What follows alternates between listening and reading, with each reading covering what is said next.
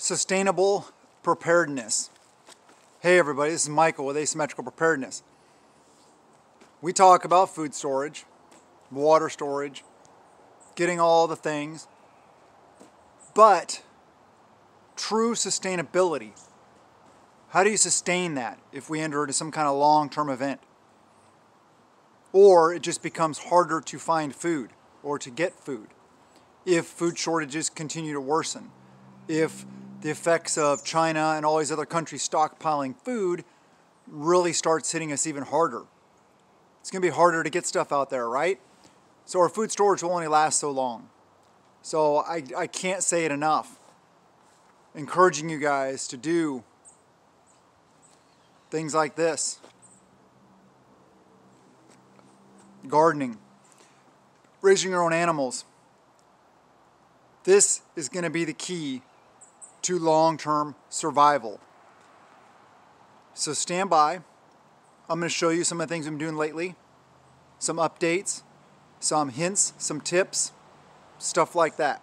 First update is our newest raised bed, our tallest raised bed, made out of the table split in half. And somebody asked me, one thing is, um, how do you deal with the varnish and soaking into the um, ground the dirt and stuff. Well, I put the varnish side out and the other side in. It still has a little tiny bit of finish on it, but it's not like the thick varnish on the outside. And because it's not really that pretty, I thought about hitting it with a sander, sanding it up so it makes so it just looks like raw wood. Because uh, it looks to me like this bed, like this wood, is redwood. I think it's redwood, so that would look really nice. But as you can see, that's just that's here nor there. As you can see, we've been adding more material to the bed. Lots of compostable material. And today we decided to clean up the yard some more.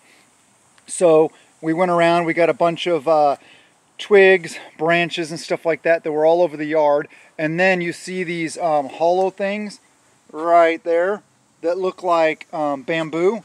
Well, it's not bamboo. I believe and once they start turning green I will be able to better identify them. But I believe it is elderberry. I believe I have an elderberry bush. I'll show you that in a sec. Um, I didn't even think about it. My son used to go in there just because they're easy to break. He'd hack them all up and I'm like whoa whoa whoa whoa. I think those are elderberries after seeing somebody else's elderberries. Um, so I'm like stop stop stop. We're gonna take good care of them now. I'm gonna clean them up really well. I'll like I said I'll show you that. But anyway these were some dead ones as we're cleaning it up, some, you know, fir needles, stuff like that. And you can see some, uh, you know, the compostable stuff I had put down in there also. But yeah, that's, we're continuing to fill that up. We've also been getting some dirt from the woods and um, putting it in there also to help top that off. So that's the update on our newest raised bed. Updating an older raised bed is this bed we added a another log to the height so now it is three logs tall kind of like this one which was our this was our first bed of 2022 so there's that one. That one's pretty much topped off but right now we're talking about this one. So this one I added a log to the height showed you guys that. It is a pretty big raised bed. Uh, I didn't even measure it. It's however long the logs are and then however wide they are. It looks like it's about four and a half five feet wide by probably, what, 10, 11 feet long. But we're starting, because we added another, added more height, and we're going to be adding some more dirt. I've just been throwing in some um, compostable, compostable material to it also, because, you know, why not? It's really good. It helps the soil grow. It helps the all the nutrients add into the soil. So it's just really good. We will be adding the, in this raised bed, I'm hoping to add the garden mix of 50, 50, 50 topsoil and fish compost mix. So we'll see how that works. Update on the first raised bed of 2022. This is pretty much done. I'm done adding stuff to it until we get the topsoil, you know, the garden mix. You can see a bunch of leaves in there from the forest. We got ashes from our campfire pit. We have old frozen fruit that, you know, we got freezer burnt and we threw it in there and some frozen veggies, just threw it all in there. So this is in a bunch of, you can see some dirt we also got from around the property. Um, this raised bed is ready to go as far as the only thing to add now is the uh, the garden mix sorry the soil so there's that bed first time ever on video. This is what I believe is um, elderberry. This elder all these these stalks going up here. Because as you can see there you go. Let me see if I can do a close-up of some of the branches. You can see some of those the branches. I believe that is elderberry. So, like I said, when it turns green, we will be able to better identify the fact of if that is elderberry or not. But there's quite a few plants in there. There's some knocked down we still need to pull out. But um, yeah, I'm hoping that is elderberry because that'll be a really sweet addition. no pun intended.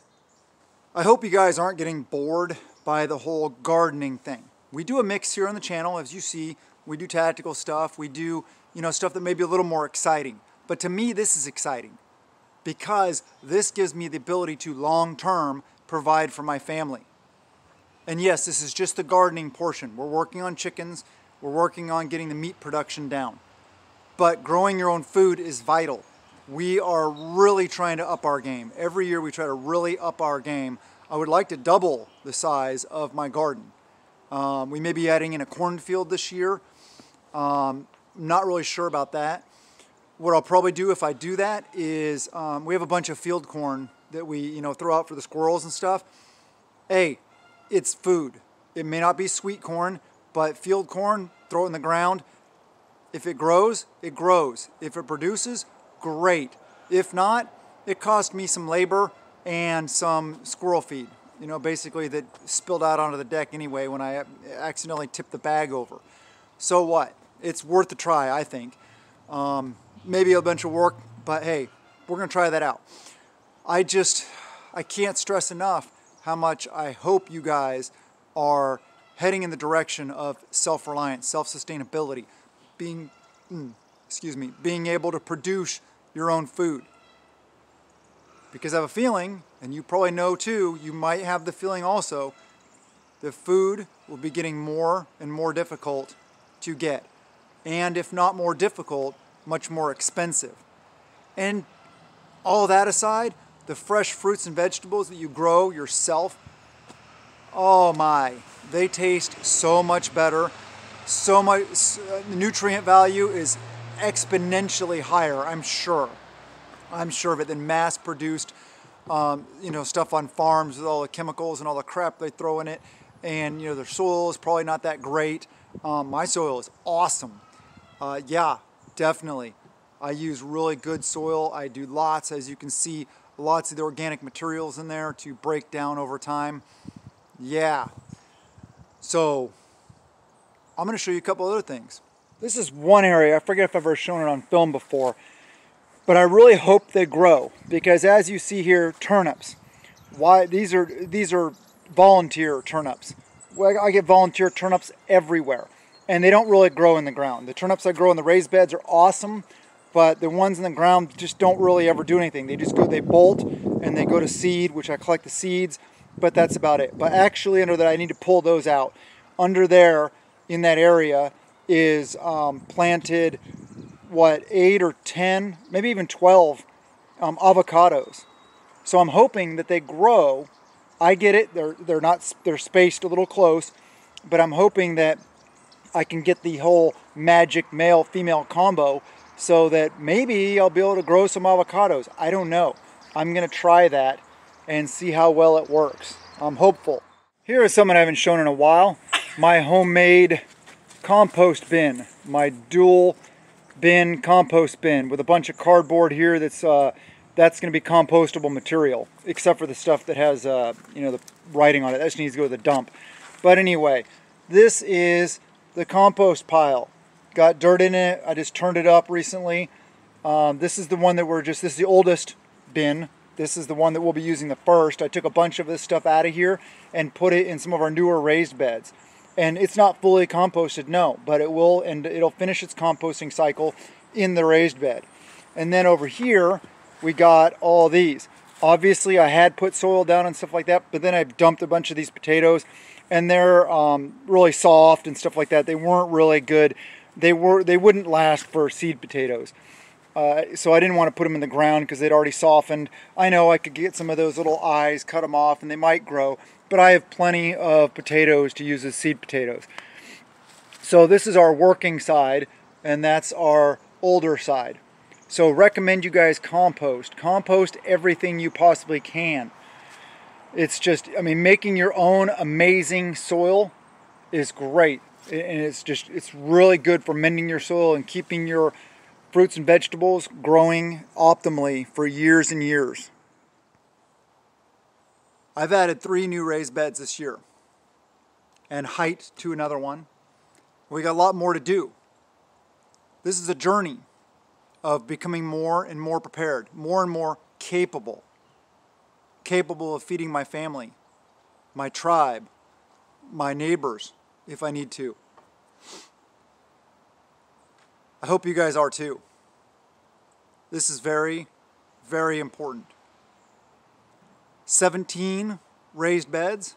Let me see, one, two, three. Three of them are smaller. So 14 pretty much full-size raised beds. Looking to add that, make that number 20 at least full-size raised beds. Maybe that field of corn, the different areas I showed you, you know, the elderberry over here, the avocados over there. I get it, they're not going to produce avocados. Also, I haven't shown you yet this year, but you think you can see it on camera, that you might be able to see the branches right here. I think it is, is our plum tree. We have a plum tree there, another plum tree over here um, next to our house. So those, we I think we'll get plums this year from them. And then another thing I saw I want to add is somewhere probably my lower field, I'm going to do that area as my chicken area and cornfield and like an orchard area. Um, I saw at Costco the other day, um, fruit trees. There's one tree they had grafted on, like I think they grew like five different kinds of apples. It was 19 something. It was 20 bucks. I thought, man, that's pretty cool. I was in the car though, not the truck, so I didn't get any. And they had a cherry tree that grew three different kinds of cherries. So I'm looking at getting, uh, you know, get a couple of them. I'll probably get you know, maybe two of the apple trees, two of the cherry trees, and just try it out. See how well they work. They're 20 bucks, you know, I think that's a good deal. And they're decent sized, and they already had buds on them and everything. So, yeah, I think I'm going to try that. I encourage you guys to try everything you possibly can. Grow the foods you love, and grow lots of them so you can have lots of calories. Can, freeze dry, dehydrate, whatever, the excess so that you can be adding to your food storage and producing the awesome abundance that God has given us and has given us this ability to grow on this earth and to make or to grow awesome fruits and vegetables that our family loves. My kids love it. We, we just chow the whole gardening season when we're out here in the garden. It's amazing. All this yummy food. It's so good for you. It's so healthy for you.